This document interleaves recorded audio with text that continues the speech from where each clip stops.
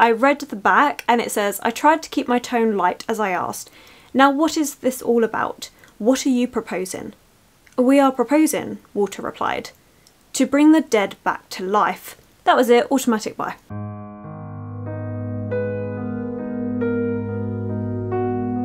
Hello my loves and thank you for joining me. It's Kirsten and this weekly vlog is going to be a lot of me wearing pyjamas.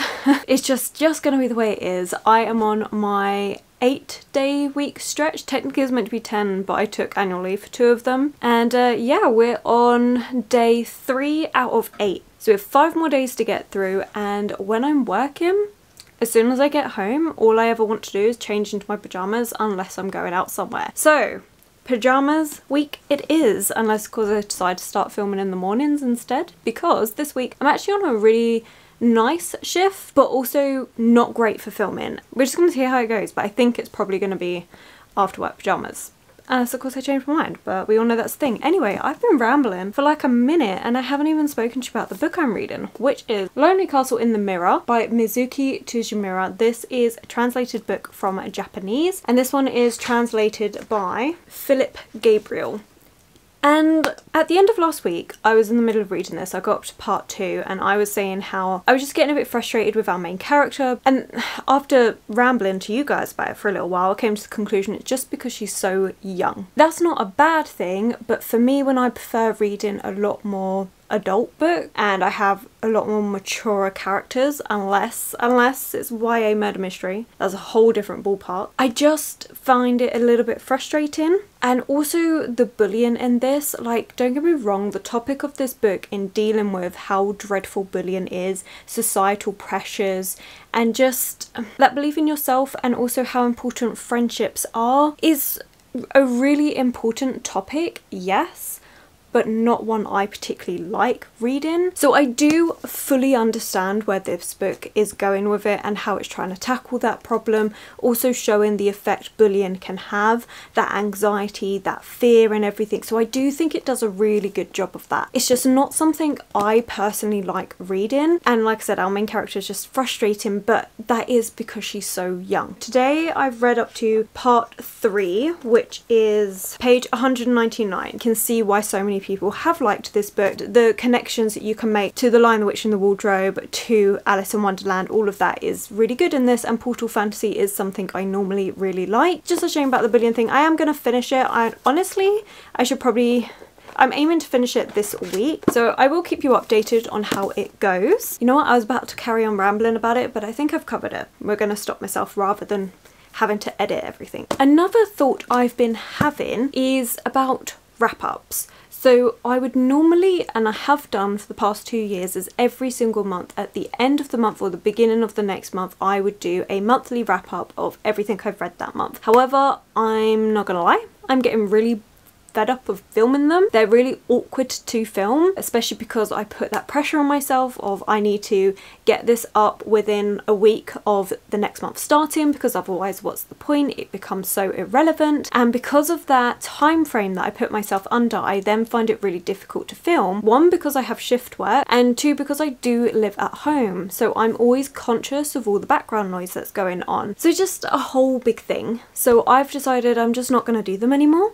I will be doing little wrap ups over at TikTok. So if you're interested and you want to know what I've read for the month, then you can have it there. It's literally just going to be the book with a one sentence thing to summarize it. That's it. Mainly part of this decision was the fact that I do these vlogs. I'm so in depth with all of my thoughts that I don't think I need the monthly wrap ups. Like I will not watch anyone else's wrap ups Unless of course like I'm really good friends with them so I'm supporting their channel and everything or if they don't do vlogs. Otherwise I will not watch the wrap-ups or I'll put them off for ages until I have nothing else to watch because I already know all their thoughts because I've been watching the vlogs and I prefer watching those.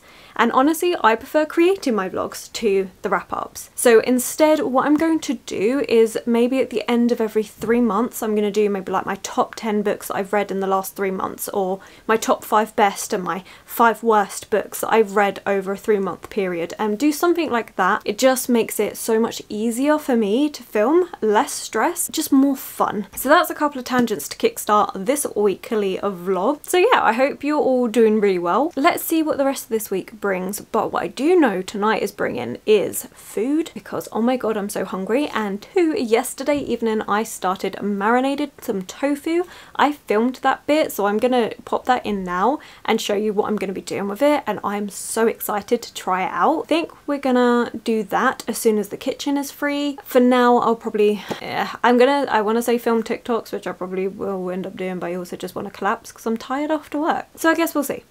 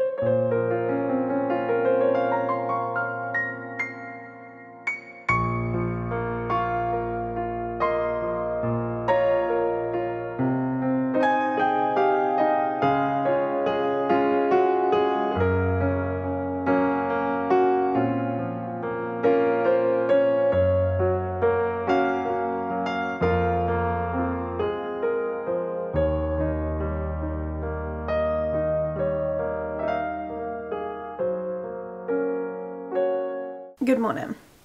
I'm not gonna lie, yesterday's reading put me in such a weird mood. I don't know if you guys get that, but when you're reading a book and you're just not enjoying it, it really does get me down, which is weird, but it really does. Like if I'm having a good book, I'm having a good day.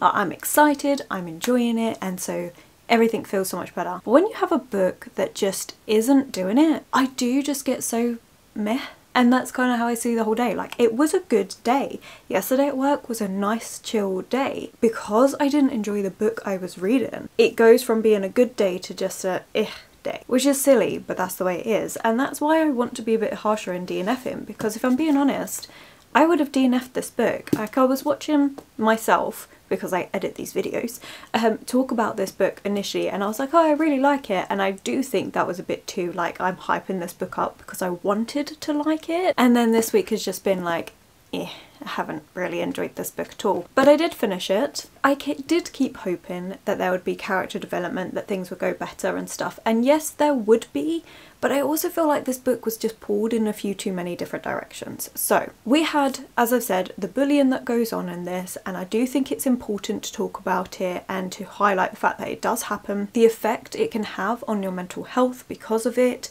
and the long lasting side effects because of all of it, and all of the kids that we meet are all going through their own thing, and you do learn about all of them. So yes, very, very important message, and I don't want to underplay that. However, actually reading this book, I just didn't enjoy it. I feel like there were points in this book though that were amazing. So what's actually going on does link back to a specific fairy tale and I really liked that and those parts of the book were amazing. And I just feel like if we had focused more on that it would have been better. Or if this had been more of that contemporary thing like it just felt like it was doing too many things at once. And it did feel like it dragged a little bit because of it. And so the parts that I really enjoyed were really few and far between and would literally last like a couple of pages and then that's it. So unfortunately for me this was a bit of a miss. It did have elements that I liked but overall I just couldn't get on with it. And I made it so that this was the only book I took to work to make sure that I actually finished this book because I was feeling like I want to DNF. And part of me was going, oh, but I've already DNF'd two books this month. I don't want to be having a third one this month. That's not great. But you know what? It's better to DNF a book instead of trying to get through it and not enjoying it. I haven't gained anything from finishing this book. There are books which honestly I've DNF'd and then I've gone, oh no, I've really enjoyed that. Like Bunny last week. That was a book I previously DNF just because I found it so weird and I finished it and I'm fascinated with it. But this is one where there wasn't really any interest in there for me. And at the end of the day, I can always go back to a book like I did with Bunny if I'm not feeling it at that time, but I want to pick it up at a later date. I don't know, I've, I've heard so many good things about this book, and so that I think that was another thing, like I really hyped it up in my mind thinking it's going to be really good, and awesome portal fantasy, almost like an Every Heart a Doorway uh, by Seanan McGuire-esque because I love this series and actually I, I do need to actually carry on with the series. Maybe I'll treat myself and get the next two in the series but like this is a portal fantasy, it's with children, I love it. I think it's fantastic. And so I was kind of hoping for something a bit similar with this, but just with more of a social look at Japanese culture and also that I knew that there were some mental health represented in this as well. So I was like, oh, it's going to be quite good, especially because Seanan McGuire, she also looks into different things. Like she does it in a lot more of a blunt fashion because these are like 200 pages long, but she looks into gender, identity, the fact that your parents can try and force you to be somebody you're not. And she looks at all these different topics. Her book, each book covers a different topic while also exploring the world and everything. So I was kind of hoping for that and I just didn't get that, which was a shame. So that wasn't great. And then yesterday evening, I got home from work and I found this waiting for me and I'm very excited. This is The Mystery of the Yellow Room by Gaston Leroux and my mum got this for me because she watches every single one of my videos. She saw me talking about this when I was doing my 24 hour readathon when I was reading Phantom of the Opera and a little note inside that book was this book existed and that it inspired Agatha Christie and I was like oh I have to get that because I want to read Agatha Christie and so my mum picked it up for me and look at the cover that she found. Isn't that just amazing? I'm in love. It's like that kind of old time but also slightly garish with all the colours in it effect. Like, oh, I love it. And under the dust jacket is that. Look at that. That is beautiful. So yeah, I was very happy because I had finished Lonely Castle Mirror at work and I was feeling really yeah. And then I found this waiting for me. And I was very excited very very excited. I cannot wait to read this. I'm actually thinking to read it in October because obviously September TBR is already chosen. It's quite hefty. Um so I'm thinking to read this in October. I think that's going to be really fun especially because I am starting Agatha Christie then as well. No I'm not. I'm starting Agatha Christie this month so it'll be a good time. Yes. Yeah, anyway, we're going to read it in October. I'm very excited to read the mystery that inspired Agatha Christie. I think it's great. And then even on the back, it's been blurbed by Hercule Poirot. Ugh. You know, Mama's partner told me exactly how to pronounce that yesterday and I've forgotten already. I really need to work on I'm going to get that down, I promise. Um, but one of Agatha Christie's characters that she created has blurbed the back of this, which I think is amazing, and he says definitely a masterpiece. So I'm I'm super excited. I cannot wait to read this. I think it's going to be great and a good time, and I might even do a whole vlog on it where we try and solve the mystery and stuff. Yeah, super excited. So that definitely increased my mood, and then in the evening I also decided to pick up a different book just to kind of cleanse the palette after reading Lonely Castle in and Mirror and I went with the last book on my August TBR and that's Ovid's The Fall of Icarus and this is a Penguin Little Black classic. These are really good for just tasters um, and this is a little extract from the Metamorphoses which I now own. I really enjoyed it, it was a good way to just see what Ovid's writing is like. This one is translated by Mary M. Innes. I enjoyed it, it was good. I liked that it wasn't just about Icarus, it was also lots of different stories woven into one another so that was really fun. Definitely a few names that I was like oh I want to learn more about this person so I'll probably do a bit of research every when I feel like it just to get a bit more used to that mythology or if they're mentioned a bit more in Metamorphoses then that'd be great. Really, really pleased with this. This was good. I am pleased that I picked this one up at the end of the day because it just meant that I went to bed in a bit of a better mood, reading wise, rather than that. So yeah, that's where we're at. I think what the plan is going to be is just to start September TBR early because I only have a few days left of the month so I might as well just start that early and I am actually feeling like If We Were Villains by M.L. Rio. Now that could change, I do have about just under an hour before I need to go to work. No, I've got half an hour. Good thing I checked um, before I need to go to work. So I might change because I'm also feeling Dangerous Remedy. I haven't quite decided which one I'm going to go with, but I'm kind of more leaning towards this one just because I kind of want an adult book whereas this one is a YA historical fiction fantasy thing, which honestly I'm really, really am excited to read, but also after reading Lonely Castle in the Mirror, I just want some older characters in my books so I'm thinking maybe just go with this one. We'll see, I could change my mind but that's what I'm thinking. And yeah so now I have half hour to get ready so I should probably pack my bag, get ready for work and all of those things. It does look like rain today so definitely going to be bringing my coat to work. Okay right I'm I'm now just just sitting here rambling, procrastinating, getting ready for work. Yeah alright I'll go.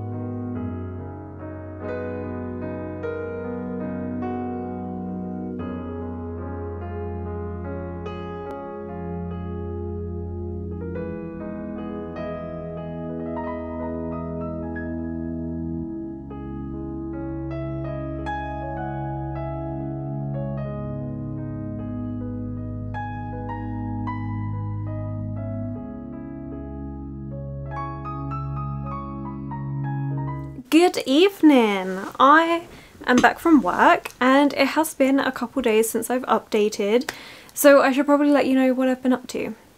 Yes, that'd be a good start. So, when did I even update? Tuesday morning? What day we on? Wednesday? I honestly, for all of Tuesday, thought that it was Monday. So, I'm still not 100% of the days of the week, but we're gonna say it's Wednesday and hopefully I'm right. Tuesday, I did end up going to work, obviously, but while I was at work, I did a bit of thrift shopping on my lunch break, which I was so happy with, and I came out with so many things. So let me show you those first. Okay, so the most exciting part was a charity shop that had four books for one pound. I was just, yes, loving it. I was so, so excited when I found it, especially because I haven't actually explored Sevenoaks Town. So I work in Sevenoaks, but I've never actually explored it. This was a nice chance because I actually had a long lunch break and I just went exploring, loved it, and um, I got a few books. On the four for a pound, I first spotted Shirley Jackson, The Haunting of Hill House. And this is something that I've been wanting to read for a little while because it's meant to be such a scary book. I know there's been like film adaptations and Netflix adaptations, stuff like I just know there's been adaptations and apparently they're really scary. I am a wuss when it comes to things scary, so I haven't watched them. But we'll see how I fare reading this. I did read a short story collection by Shirley Jackson. I found it really unusual, but also can see like the nightmare-esque elements to it all so I'm really intrigued to actually read one of her novels. Was really happy with that and I got it in the Penguin Modern Classic editions which I do really like for these ones as well. Then I also saw The Lies of Locke Lamora by Scott Lynch. Now this is actually a repurchase. years and years ago my dad told me about this book so I decided to pick it up but I never really got into it but at work, I have a colleague at work who also told me to get The Pillars of Earth. Is it Earth? Yeah, The Pillars of Earth by Ken Follett. And I saw that one in a charity shop recently, which you'll be seeing in a video coming up shortly, which I don't know when's coming out, but it'll come up eventually. And so I picked that one up, but that same colleague has also been non-stop telling me to read this one. And I was like my dad liked it. He likes it. I should give this a go. So again four for a pound. Like I can't be complaining at this price. I will get around to this eventually. All I know is that it's some sort of heist story. The Thorn of Camorr is said to be an unbeatable swordsman, a master thief, a friend to the poor, a ghost that walks through walls. I really don't know too much about this. I know I tried reading the first like chapter or so and then gave up, but that was years ago, so let's see if I prefer it now. And then I also saw Printer's Devil's Court by Susan Hill and I was like, Susan Hill, I know that author. Why do I know that author? And that's because she is the author that wrote The Woman in Black and I went to see The Woman in Black theatre years and years ago like probably like 12 years ago, maybe more? No, more than that. I don't actually know, but regardless, I saw the author and I was like, I'm really intrigued. I read the back and it says, I tried to keep my tone light as I asked. Now what is this all about? What are you proposing? We are proposing, Walter replied, to bring the dead back to life. That was it, automatic buy. That was all I needed to know. That's all I wanted to know. I love this cover. So yeah, so another horror. I'm not sure if this is a classic. I'm thinking it should be a classic or at least a modern classic because Susan Hill did The Woman in Black and that's amazing. That is a timeless classic in my opinion. So yeah, really excited. This is a little hardback as well. And then the fourth book, I didn't know. Like this charity shop was honestly a shambles. It was a mess. You had to really rummage through everything. They also had boxes of books that they hadn't yet put out but because they're like all books are four for a pound, whether they're hardback or paperback, we don't really care. You just had to rummage. And so that's what I did. And I came across this gem, which is so garish. I love it. It's just perfect. So this is the picture of Dorian Gray by Oscar Wilde. Yes, do I already own two copies of this book? Yes. But I couldn't say no. Look at that. Look at that ridiculousness and it has green sprayed edges. I just had to. This thing is garish. It is a pulp classic, which is like a series of books that they did bring out where they were in all of this pulp look. And I love it. I think it's great. So yeah, I was really happy to find this to be honest. And I did have another rummage, but I couldn't find any other books that I was interested in. So I thought, you know what, to make it four for a pound, I may as well get this. Otherwise, all the books were 50 pence each. And I was like, you know what, I'm getting two books for free. I might as well get this. And it is. It's, it's garish and it's amazing. And even the back of this, it's hilarious how the summary is because it's Dorian Gray might be as pretty as a picture, but he's paid a devilishly high price for it. He'll stay drop dead gorgeous, but there's something nasty festering in the attic, and it's just the synopsis go so well with this pulp take on the classics. So yeah, I loved it. I just thought it was great. Even this bit, wild about the boy and it being wild of the surname of Oscar Wilde, like yeah, I don't know, I fell in love with it, so that was great. And then I went through loads more charity shops. Oh wait, actually, at that same charity shop, I also picked up a little frame. This isn't the oval brass ones, which I've been desperately holding out for so I can get a fourth one to match the three I already have. But I did decide to pick up just an extra little one because I do have more than one more art print that I want to frame. And it is in this, the goldy brass look that I'm going for, so decided why not, it was 50 pence. Can't really go wrong with that. Um, but yes, but then I carried on around some more shops and I stopped off in one of the charity shops and got myself a jumper because, okay, I don't need jumpers. I have enough. But it was £3. You can't say no to that. £3. It is slightly too big, so it's going to be like an off-the-shoulder look. But I'm really excited for it, and it's in a lovely colour, and I don't have this colour of pink. I have a lot of shades of pink and purple in my jumpers, but I don't have this shade and now I do. And it was £3, like you can't pass that up, like that's really good. And then in the last charity shop I went into was actually Oxfam Books, which in the UK is this really good charity shop for books. Like it's probably one of the best charity shops you can go to for books. And in there I found the Mysteries of Udolpho by Ann Radcliffe. So I did actually pay more for this. I actually paid £2 for this one book. I don't care. I'm very happy with that. I've been wanting to read this book ever since I read Northanger Abbey. You would know that if you've seen my other videos because I've been non-stop talking about it. So yeah, really, really pleased and it was in the edition that I wanted. I wanted it in the Oxford World Classic edition to go with my other ones that I have. I couldn't say no. This is so beautiful and part of the Sevenoaks bookshop is that you actually get to choose a bookmark to go with it because they're trying to convince people not to fold the pages which I found hilarious and you could just have a little rummage through. They had all of these leather bookmarks with different detailing on it and I went for this one. I really liked it. I loved the colour of it. I was very happy with my free bookmark as well and this book, which I have been wanting to get, so that was really good. So honestly, I got five books for £3 and that was a good bargain if I ever saw one. Absolutely loved it. And then that evening I went to my partner's, spent the morning with him before having work today. I did go around Sevenoaks again just checking the rest of the charity shops because there is loads there and I couldn't do all of it on my lunch break so I did some half and then half today.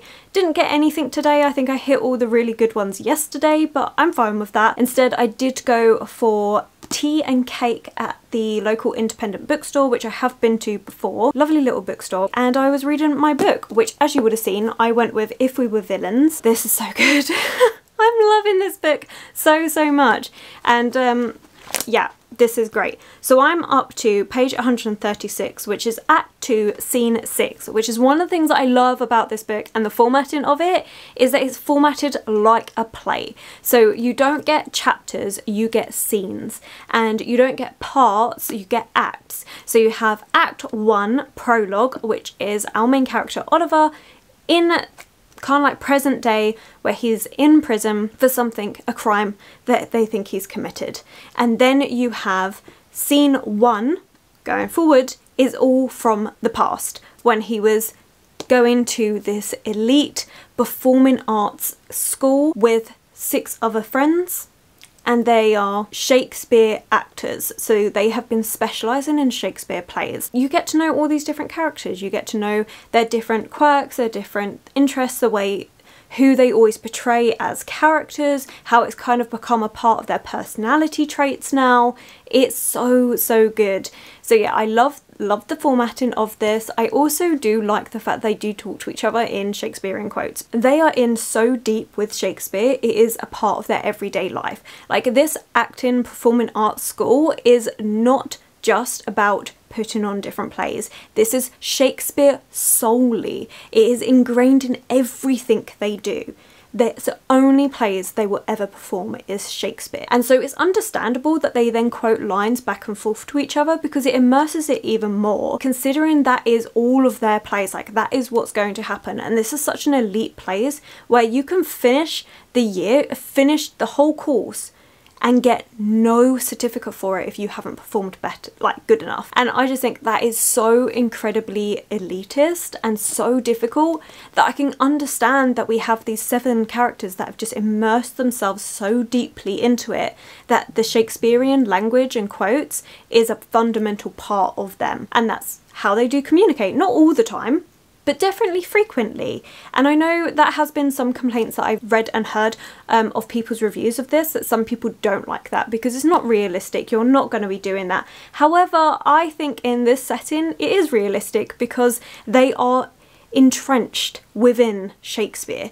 So I think it's actually part of it, but maybe that's just me. So yeah, the Shakespearean language, I don't mind at all. I actually really do like Shakespeare. It's weird, it's one of those things that I had to study it at school, and I did. I studied Hamlet and Romeo and Juliet at school, and it was one of those things like I liked it, but I also resented it because I had to study it, and I did find it hard. Whereas now I have so much appreciation. Like I read Macbeth simply for me, for my enjoyment, and I loved it. It was so good. And Macbeth is actually referenced quite a lot in this. They're putting on the play of Macbeth. They're doing a couple of scenes from it. So I loved reading that and seeing how they reenacted it. It was so good. If you like Shakespeare, you're gonna like this book. I, I do think it works well. And we do have the mystery element, which I really want to talk about my theory. So I think I'm gonna do what I did for a previous murder mystery reading thing is put up spoilers because I really want to talk about it. So if you want to read this book but you don't want to be spoiled, and I don't get me wrong, I don't know if my theory is correct. I still have 300 pages to go, but this is where I'm at.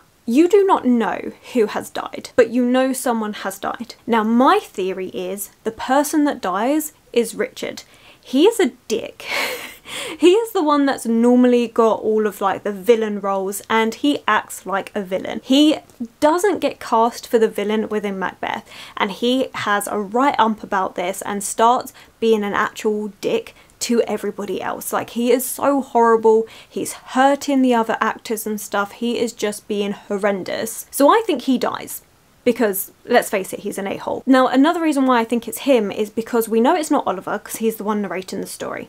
We know it's not Philippa because she comes to meet Oliver in present day to meet him when he's released from prison, which happens in Act 2. We know it's not Meredith because they talk about Meredith and they also talk about Alexander. So we know it's not those four. That leaves us with three people, which it could be Richard, Wren, which is Richard's cousin, or James.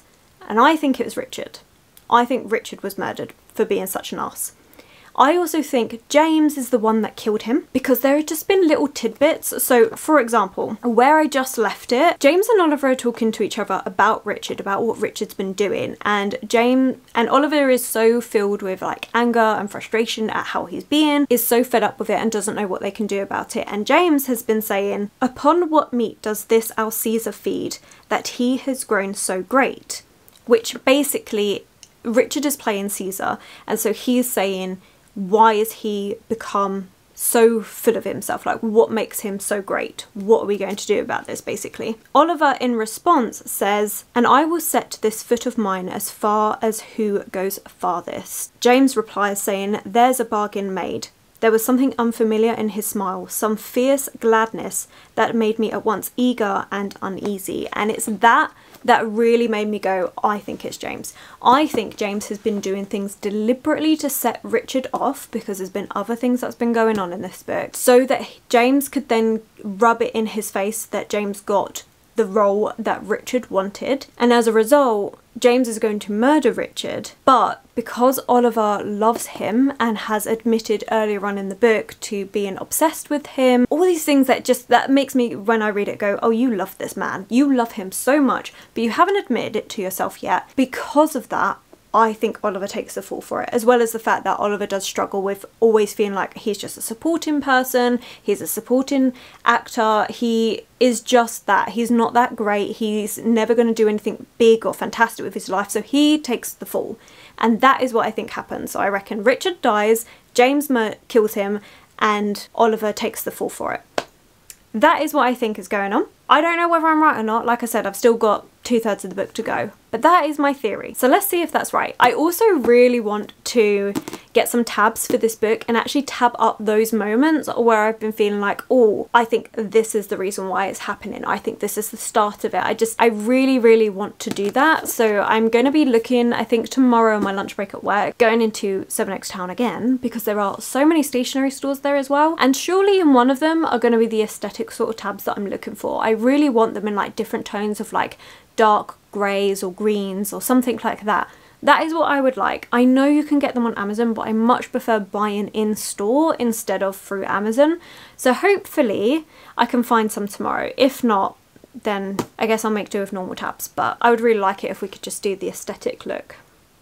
So yeah, that's that's the that's what I'm loving about this book. I have been underlining, I have been folding pages, I have just I've been loving this book so, so much. I think it's so much fun. I love the fact that we have that mystery of we don't know who's died yet. And it's just, yeah, it's been great. It's been absolutely great. I have realised that a murder mystery is probably my favourite thing to read at the moment. That and a classic book.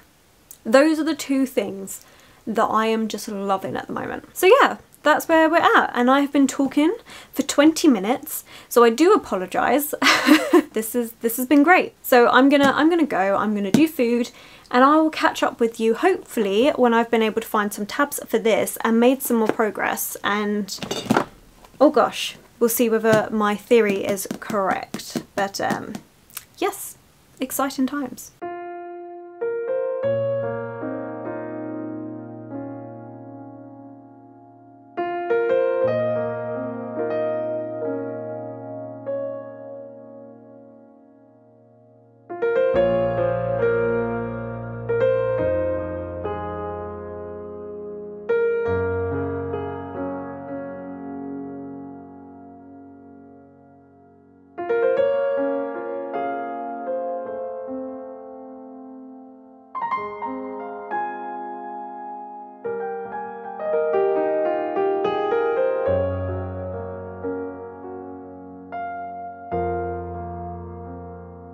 was right.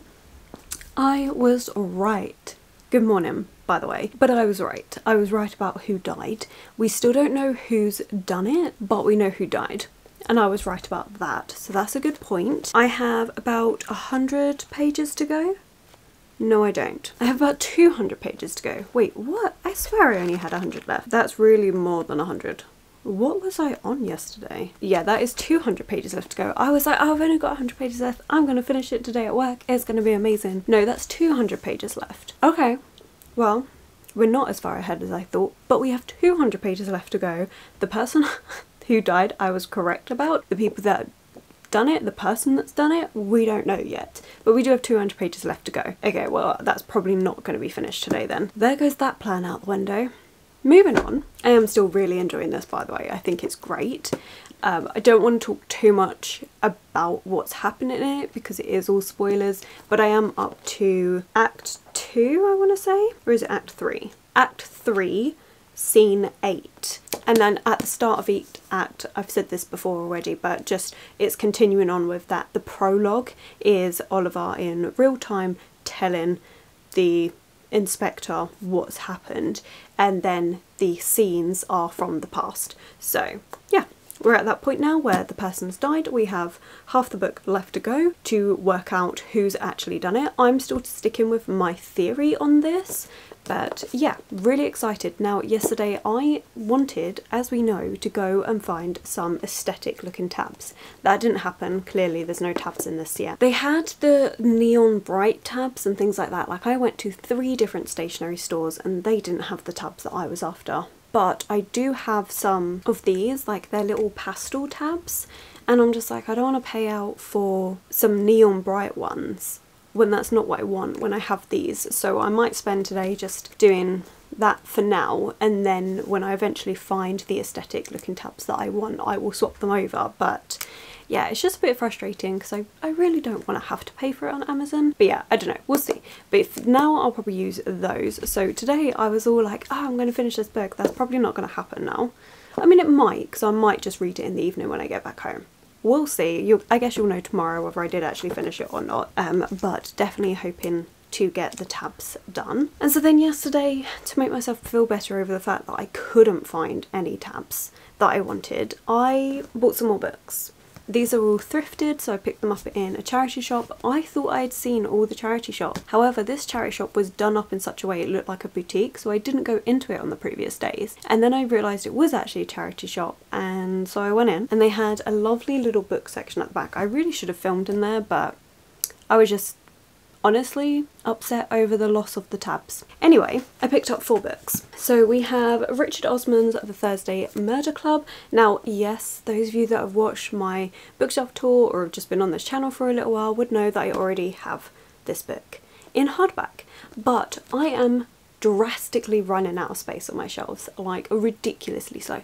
Like, okay, tangent coming in here, but I was watching my bookshelf tour from two years ago. So like when I first started this channel, it was like two and a bit years ago. Wow, is all I have to say. Because I had these two shelves, they were not this colour, and I had so much space.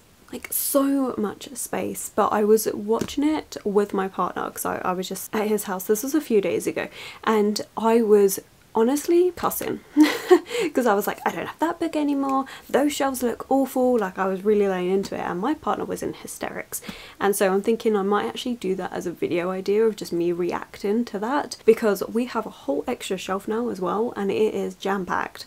And I'm running out of space so I've decided that I'm going to swap over the hardbacks into the paperbacks. I do prefer reading paperbacks generally just for convenience sake. The hardbacks do look beautiful but they are easier. But I'm only going to pick these up in charity shop. So I picked this one up, it was £1.50. So yeah, I'm going to be slowly swapping them out, getting the paperbacks from charity shops because I need the second one. And then the third one is due to come out soon, but I also want to read it soon. So I'm thinking I might actually pay full price and get the hardback so I can read it straight away and support obviously Richard Osman and the bookshop. I will again once paperback comes out and if I find it in a charity shop pick it up in a charity shop is it going to bug me for a little while that I'm going to have mismatching because one's going to be paperback and then the other's a hardback? Yes, but I need to think about space on my shelves and that's becoming a drastic problem, she says, with buying more books. But Anyway, then we have The Madman's Daughter by Megan Shepherd, and this is one that I've actually had on my Waterstones wish list for a little while now because I saw, I'm not even sure how I saw this, like whether it was on Instagram or whether I was just doing some scroll, who knows. I found this and this is a retelling in a way of Dr. Moreau's Island. We're following Dr. Moreau's daughter so I am super excited about this. I love retellings and I love like books that have been inspired or like continuations in a weird way so I have high hopes for this one. I actually don't know what it's about I just know that our main character is Dr. Moreau's daughter and that's all I needed to know. So of course when I saw that in a charity shop I was like well that's perfect. And then I also picked up F. Scott Fitzgerald's Tender is the Night and this I was really pleased with because it's actually in the exact same edition that I have The Great Gatsby in with the white spine of the Penguin Modern Classics. So I was very excited. I actually do want to read more F. Scott Fitzgerald. I've only ever read Great Gatsby, and that was, I think, for GCSEs. So it's been a while. And I would really like to read more by him and also his wife and the non-fiction book that I've got about them like it's a whole thing that I would like to do so of course when I saw this and it was in the edition that my other one is in couldn't say no and then the last one I picked up is Shakespeare's Henry VIII which as we know because I've already said this week I really like Shakespeare. Really good. Really want to read more of it. And so of course when I saw that one this one was only a pound I was like well can't really say no. And it's in the edition that I want to collect Shakespeare in because these penguin black splines honestly I don't love. But I do want to have a stack of Shakespeare all in this edition because I don't know why but for me that just that works. So yeah found this one. So that was to make up for the fact that I couldn't find the tabs that I wanted. Was it smart? Probably not have I saved loads of money doing books only secondhand this month hell yes so much money and then that was it really yesterday was nice and chill I did try pumpkin spice latte for the first time. I actually quite liked it. My partner was like, it's so basic, but you'll like it. And I was like, I really did though. um, and yeah, that's it. I've got my last day of work today. I've got two days off, so that's gonna be great. That's it. I mean, hoping today that I don't buy any more books because somehow this week we've managed to buy nine books, but we've only spent eight pounds. So I think that's a bargain considering that for nine books, I've spent the price of what would have been one book. So I really do think that's good and I might try and continue on with this only thrifting books until the end of the year just to save money. I mean, I do firmly believe book buying and book reading, two completely different interests. I will never read the amount that I buy. I don't know, who knows? I could be try and do one of those things where I read a book, I can buy a book, but reality wise, that's never going to happen. Anyway, right, okay, I actually do need to get ready for work, get changed out of my PJs, and just, you know, do adult stuff, try and find space for these. Like I've actually rearranged my books so much. Like I just did this big rearrangement and I'm already having to rejiggle the shelves around to fit more books in. It's a bit of a problem. I think we're gonna have to go through and do an unhaul and be really strict with my shelves because I need space. But also I could just pile them. I could literally I think it's gonna be a case of I just have book piles around my room. Like I think that's the point that we're getting to. Anyway, right, I've said don't ramble about 10 times now.